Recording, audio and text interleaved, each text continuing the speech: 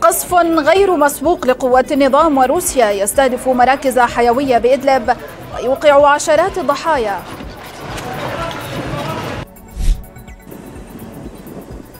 تركيا تدفع بتعزيزات عسكرية إلى الحدود مع سوريا وترسل رتلا إلى قاعدة بين جرابلس ومنبج.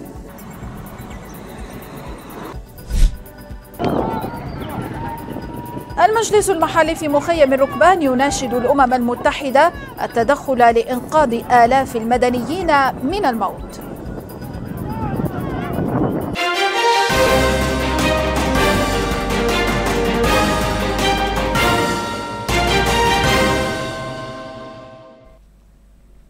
أهلا بكم مشاهدينا في نشرة الأخبار من قناة حلب اليوم. دان الأمين العام للأمم المتحدة أنطونيو غوتيريش الهجمات التي تطال المدنيين ومنشآت طبية وخدمية في محافظة إدلب.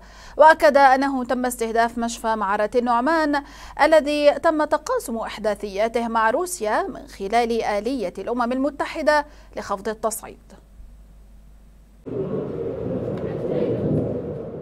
على وقع التصعيد المستمر في إدلب توسع طائرات النظام وروسيا من دائرة استهدافها للمنشآت الطبية والخدمية في المحافظة.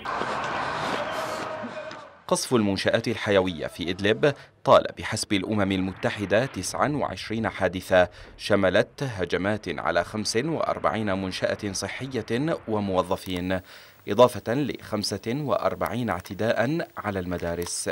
الأمين العام للأمم المتحدة أنطونيو غوتيراش دان الغارات الجوية التي تضر بالمدنيين في شمال غرب سوريا. بما في ذلك التي تستهدف المنشآت الطبية وعمال الإغاثة غوتيراش أكد استهداف الطيران الحربي مستشفى معرة النعمان أحد أكبر المستشفيات في المنطقة والذي تم تقاسم إحداثياته مع روسيا من خلال آلية الأمم المتحدة لخفض التصعيد.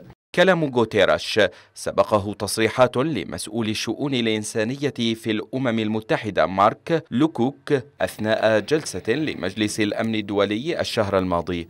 طالب خلالها روسيا بتقديم توضيحات بشأن كيفية استخدام إحداثيات المراكز الطبية في إدلب. للمرة الأولى منذ إطلاق نظام الأسد وروسيا حملتهما العسكرية على إدلب يشن الطيران الحربي التابع للنظام غارات جوية طالت الأحياء السكنية في مدينة إدلب ما أدى إلى سقوط ضحايا مدنيين. القصف الجوي للنظام وروسيا طال أيضا سراقب وخان شيخون ومعرة النعمان وجسر الشغور وأريحة. استهداف المدن الكبرى في إدلب والمكتظة بالسكان والنازحين. سبقته معارك عنيفة على جبهة الحماميات شمال حما حيث تمكنت قوات الأسد من استعادة السيطرة على القرية وتلتها بعد ثمان عمليات اقتحام وعشرات الغارات الجوية. معنا من الحدود التركية السورية مراسل حلب اليوم. دياب الحمدو أهلا بك دياب برأيك أو وفق المعلومات التي لديك كيف بدت مناطق إدلب وحماة اليوم في ظل القصف الذي طالها من قبل قوات النظام وروسيا؟ نعم حلا بعد سيطرة قوات النظام والميليشيات المساندة لها على قرية الحماميات وتلتها الاستراتيجية. استهدف الطيران الحربي التابع لقوات النظام وروسيا آه، عدة مدن ومناطق في الشمال السوري أبرزها. مدن أريحة ومعرة النعمان ومدينة إدلب آه، أسفر هذا القصف عن مقتل خمس مدنيين وأكثر من 20 جريح في مدينة أريحة. كون المدينة مكتظة بالمدنيين والنازحين استهدفت الغارات أحياء سكنية آه، بالإضافة إلى سقوط قتيلين وعشر جرحى في مدينة إدلب بالإضافة إلى سقوط قتيلين أطفال وحوالي عشر جرحى في معرة النعمان. بالإضافة إلى خروج فرن إنتاج الخبز في معركه النعمان عن الخدمه بسبب استهداف إحدى الغارات هذا الفرن. بالإضافة استهدف الطيران أيضا مدينة كفر زيتا وقرى الجيسات والأربعين وزكاة في وتله الصرف في آه، آه، الصخر عفوا في الغارات شديد الانفجار صواريخ فراغية أدت إلى دمار واسع في الممتلكات نعم. و طيب. وقتيلة نعم دياب يعني وفق ما تتحدث عنه إذا كيف تبدو الحالة الإنسانية وخاصة بعد قصف مراكز حيوية كما تحدثت للدفاع المدني ومشفى أيضا في جسر الشغور بالنسبة للحالة الإنسانية حقيقة حالة إنسانية مزرية. هناك حركة اتجاه مناطق الشمال السوري والحدود السورية التركية بعد استهداف مراكز حيوية ومدن في النازحين والسكان في مناطق الشمال السوري. طيب بشكل سريع دياب تطورات المعارك في ريف حما كيف تبدو؟ بالنسبة للمعارك بعد سيطرة قوات النظام والميليشيات المساندة لها على قرية المملكة الاستراتيجية. آه، تبدو الأمور هذه نوعا ما. استهدفت آه، فصائل المعارضة تجمعات قوات النظام في قريتي أرصيف والجيش في منطقة سهل الغاب في ريف حماة الغربي. نعم. آه الآن آه الوضع هو قصف جوي ومدفعي من قبل قوات النظام مم. على مناطق سيطرة المعارضة سواء في ريف حماة أو في ريف إدلب نعم. أشكرك جزيل الشكر دياب الحمد ومراسل حلب اليوم. كنت معنا من الحدود التركية سوريا ذكرت صحيفة يني شفق أن تركيا وضعت قواتها المنتشرة على الحدود مع سوريا في حالة تأهب قصوى بعد أن عقدت قواتها بيجي سلسلة اجتماعات مع أمريكيين ودول خليجية في المناطق التي تسيطر عليها. وأضافت الصحيفة أن الجيش التركي نشر أكثر من خمسين دبابة وبطارية مدفعية على الحدود التركية المقابلة لمنطقتي تل أبيض ورأس العين. كما تم استدعاء قادة وحدات الجيش التركي والجيش الحر لعقد اجتماع في العاصمة أنقرة. هذا ودخل رتل عسكري تركي إلى الأراضي السورية وتوجه إلى قاعدة عسكرية تركية بين مدينتي جرابلس ومنبج بمحافظة حلب. وأفادت وكالة سمارت بأن أكثر من أربعين آلية عسكرية محملة بالجنود ضمنها ناقلات وقود ودبابات. دخلت من معبر كركميش لتستقر في القاعدة العسكرية في جرابلس. وأوضحت المصادر أن هذه التعزيزات هي الأولى من نوعها بهذا الحجم. والتي تصل إلى القواعد التركية في المنطقة.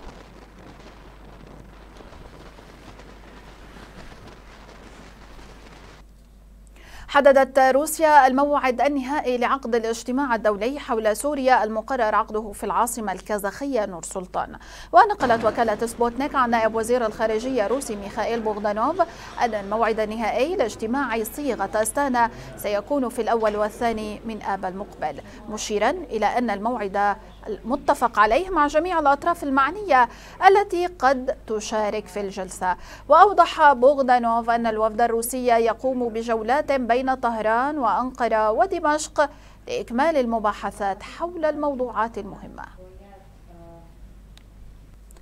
أعلنت وزارة الدفاع التركية أنها تسلمت الأجزاء الأولى من منظومة إس 400 الصاروخية الروسية وأن عملية التسليم ستستمر في الأيام المقبلة على أن يبدأ تركيب المنظومة في مرحلة لاحقة. وقالت الوزارة إن الشحنة الأولى من أجزاء المنظومة الروسية بدأت تصل إلى قاعدة مورتد العسكرية في العاصمة أنقرة وهددت الولايات المتحدة تركيا بعقوبات إذا مضت في إتمام الصفقة الروسية.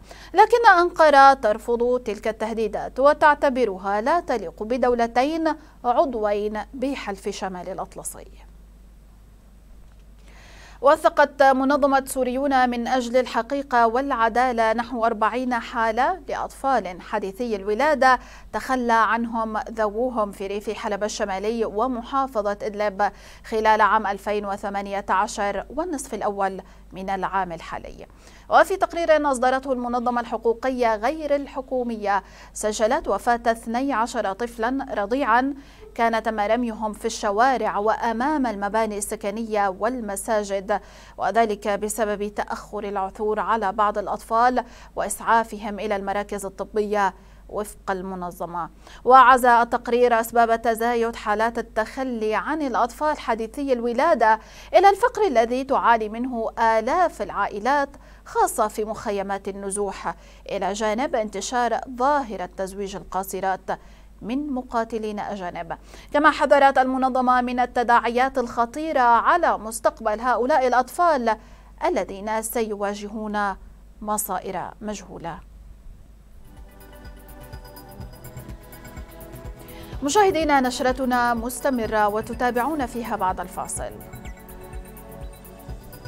بمشاركة 17 دولة إسطنبول تحتضن المعرض الأول للتمور والفواكه المجففة.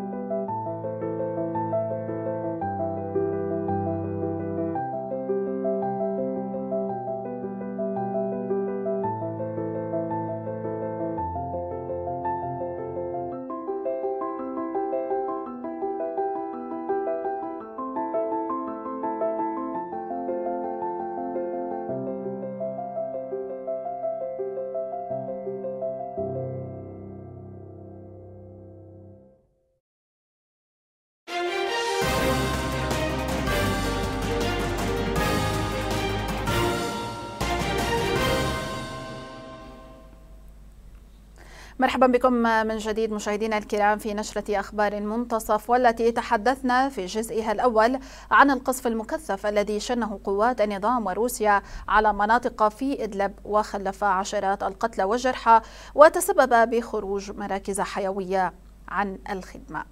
وفي متابعتنا لتفاصيل هذه النشرة وجه المجلس المحلي بمخيم الركبان على الحدود السورية الأردنية والمحاصر من قبل قوات النظام. وجه نداء استغاثة إلى الأمم المتحدة وللعالم لإنقاذ أهالي المخيم من الموت جوعا. وطالب المجلس المحلي إنقاذ المخيم من الموت بظل إغلاق الطرقات من قبل روسيا وفرض سياسة التجويع أو الرجوع إلى مناطق سيطرة الأسد. كما ناشد الأمم المتحدة التدخل لإنقاذ تسعة آلاف نسمة محاصرة في المخيم عبر إدخال كافة المساعدات أو فتح طرق باتجاه الشمال السوري. ينضم إلينا عماد أبو شام الناشط الإعلامي من مخيم الركبان. أهلا بك عماد.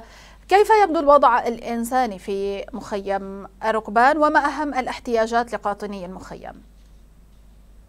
أهلا وسهلا بك أختي الكريمة والمشاهدين. أهلا بك. طبعا آه، مخيم الركبان منذ 9 فبراير 2019 أطبق عليه الحصار بشكل كامل من قبل المحتل الروسي وأيضا قوات النظام السوري المتمركزة حول منطقة ال 55 آه، في هدفهم من من هذا الحصار صراحة أختي هو إخضاع أهالي مخيم الركبان لقبولهم بالمصالحة التي تم عرضها على أهالي مخيم الركبان وفرض وفرض عليهم العودة إلى مناطق سيطرة النظام.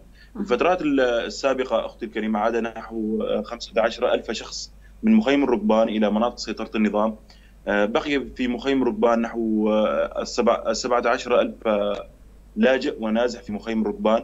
يعانون شتى أنواع الظروف الإنسانية انقطاع كامل للمواد الغذائية داخل مخيم ركبان. مادة الطحين تنقطع بين الفترة والأخرى. قوات النظام في حال تم في حال ألقت القبض على احد المهربين الذي يقوم بإدخال مواد غذائية إلى مخيم الركبان يقوم بإعدامه ميدانيا. الوضع الصحي متردد داخل مخيم الركبان أختي الكريمة بسبب عدم وجود أدوية داخل مخيم الركبان وأيضا وأيضا حليب الأطفال أختي الكريمة. لا يوجد عبوة حليب أطفال داخل مخيم ركبان. يعانون أهالي مخيم طيب ركبان. لو تعد لي عماد كم تبقى من النازحين داخل المخيم؟ بقي 17 ألف نازح داخل مخيم ركبان. نعم. يوجد قسم من لاجئين مخيم ركبان أو من الشبان مخيم ركبان صراحة أختي. ذهبوا إلى الشمال السوري عبر طرقات تهريب محفوفة بالمخاطر صراحة أختي الكريمة. طرقات تمر بمناطق سيطرة داعش في البادية السورية وأيضا مناطق سيطرة النظام ومن ثم إلى إلى مناطق سيطرة قوات سوريا الديمقراطية ومن ثم إلى آه، مناطق آه، سيطرة الفصائل نعم. المعارضة طيب. الجيش السوري نعم. في الشمال السوري. نعم. عماد هناك خطة قدمتها الأمم المتحدة لنظام الأسد من أجل إغاثة مخيم الركبان، هل اطلعتم أنتم كأهالي داخل المخيم، هل اطلعتم على تفاصيل هذه الخطة؟ أختي الكريمة يؤسفني أن أقول لكم أن الأمم المتحدة هي شريكة بحصار مخيم الركبان صراحة. آه، نحن ناشدنا الأمم المتحدة عدة مرات وأيضا تم إيصالنا بهذه الرسالة آه، التي قاموا بطلبها من من قبل قوات النظام أو مطالبتها من قبل قوات النظام بإدخال المساعدات الإنسانية. ولكن آه، الأمم المتحدة قادرة على أن تدخل من الجهة الأردنية من الجانب الأردني. يجب أن تضغط على الجانب الأردني لادخال المساعدات الإنسانية إن لم يمكن إدخالها من من مناطق سيطرة النظام. طيب ماذا تقصد يعني بأن الأمم المتحدة هي شريكة للنظام؟ ماذا تقصد تحديدا؟ نعم نعم أختي الكريمة. آه، في في 9 فبراير 2019 أختي الكريمة كان آخر دخول للأمم المتحدة إلى مخيم الركبان بعدها قاموا باستبيان داخل مخيم الركبان وهذا الاستبيان كان آه، عبارة عن آه، أسئلة موجهة للاجئين داخل مخيم ركبان عن عن عن في حال تم تفكيك مخيم ركبان إلى أين سيذهبون آه، فحسب إحصائياتهم قالوا أن 98% من اهالي مخيم ركبان يرغبون بالعودة إلى مناطق سيطرة النظام. نعم. أختي الكريمه من خرج من داخل مخيم ركبان إلى مناطق سيطرة النظام هم 15000 شخص آه، لاجئ ذهبوا إلى إلى تلك المناطق نعم. ومعظمهم ذهبوا من سيطرة النظام إلى الشمال السوري. صراحة أختي الكريمة الأمم المتحدة اشتركت باجتماع آه، نعم. الذي عقد من أجل مخيم الركبان في منطقة جليغم. كانت مشرفة على على عملية المصالحة التي التي جرت. يوجد 37 شخص آه، تم اعتقالهم في في الأفرع. المخابرات الجوية بمدينة حمص. الأمم المتحدة هي كانت راعية لهذا لهذه عملية المصالحات. نسألهم أين 37 شخص الذي تم اعتقالهم؟ آه، في مدينة حمص. أشكرك جزيل الشكر الناشط الإعلامي عماد أبو شام حدثتنا من مخيم ركبان كشفت هيئة الاقتصاد والزراعة التابعة للإدارة الذاتية أن كمية القمح التي استلمتها من المزارعين لا تكفي لسد حاجة المنطقة من الطحين والبذار في العام المقبل. وقال الرئيس المشترك لهيئة الاقتصاد والزراعة التابعة للإدارة الذاتية سلمان بارودو إن احتراق مساحات كبيرة من حقول القمح وإصابتها بالآفات الزراعية كان لهما تأثير كبير على الإنتاج. احتفل البرلمان البريطاني بمرور 160 عاما على قرع جرس ساعته الشهيرة بيج بن. لكن الجرس الشهير لن يدوي للاحتفال بهذه المناسبة لأن برج الساعة في منتصف عملية ترميم كبيرة. وذكرت وكالة رويترز أنه بسبب المشروع أصبح برج إليزابيث الذي يبلغ طوله 96 مترا والذي ويعد من أكثر المباني التي يتم تصويرها في بريطانيا مغطى بالصقالات لإعادة تلميع واجهات ساعاته الأربعة وطلاء الأجزاء الحديدية وتنظيف وترميم الواجهة الحجرية المنحوتة. سبب ارتفاع منسوب مياه نهر الفرات قرب مدينة جرابلس بريف حلب مشاكل عدة لا سيما على الصعيدين التجاري والزراعي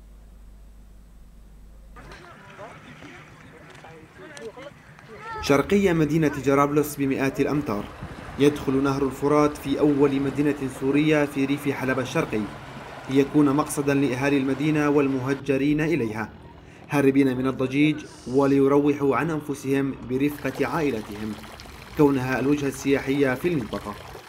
أنا أبو جمعة هون من جرابلس صاحب مقهى الفرات من مدينة جرابلس. فتحنا المقهى هون بجرابلس مشان نترزق منه. الحمد لله ماشي الحال. الآن عم تجي بس مو بكثافة مثل كل سنة.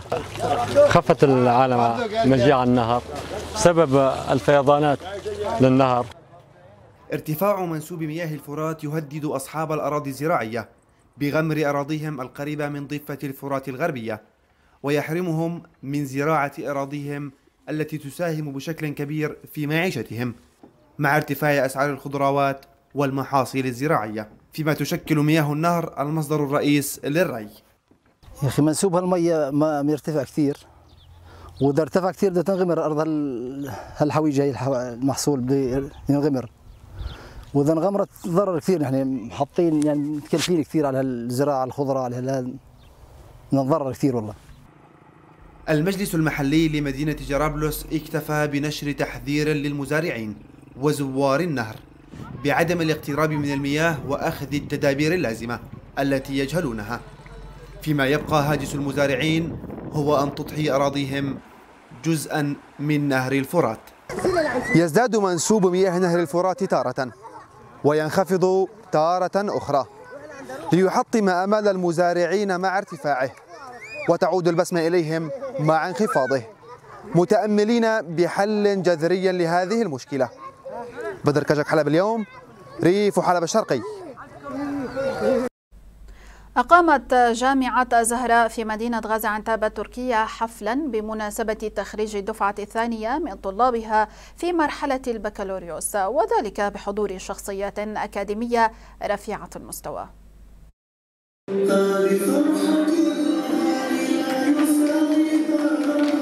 آه، نهدي هذا التخرج إلى وطننا الحبيب. إن شاء الله رب العالمين بقدرنا أن نرجع في الغد القريب لبناء وطننا الغالي. معززين مكرمين بإذن الله تعالى. في هذا الصرح العلمي هو الوطن لا غيره يهدي خريجو جامعة الزهراء نجاحهم إليه.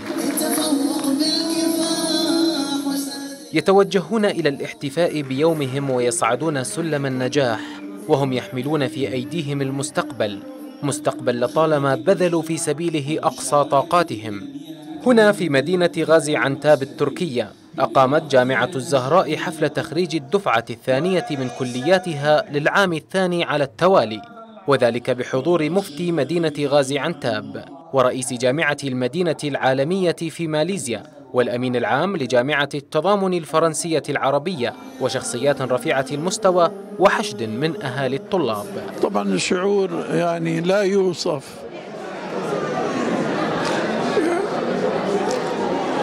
نعتبر هذا اليوم من الأيام اللي نفتخر فيها إن شاء الله.